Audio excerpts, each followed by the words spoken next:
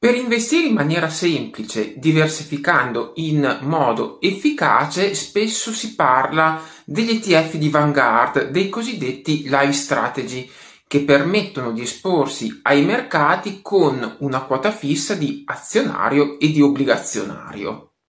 Si va da quelli con una esposizione maggiore all'azionario pari all'80% per poi scendere a quelli più difensivi con una quota di azionario al 20% e una di obbligazionario all'80%. Come fa vedere Finvestire in un ottimo post su Instagram, esistono però tre motivi per cui investire in un singolo ETF di questo tipo potrebbe comportare dei problemi e io sono assolutamente d'accordo.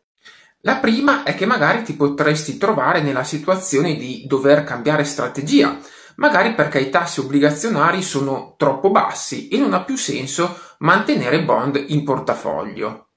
In quel caso dovresti vendere tutto l'ETF pagando anche le tasse sull'eventuale guadagno. La seconda è che utilizzano strumenti di copertura del cambio, quindi zavorrando i rendimenti, visto l'alto costo. E voi che ne pensate?